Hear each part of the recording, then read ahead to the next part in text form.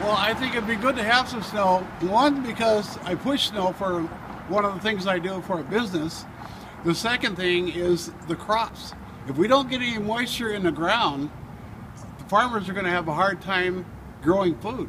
And I have I have a grandson that's here, so I'm thinking about what's going on in the future. What is going to be our future if we can't grow the food that we need because the earth is so dry? How are we going to survive all this?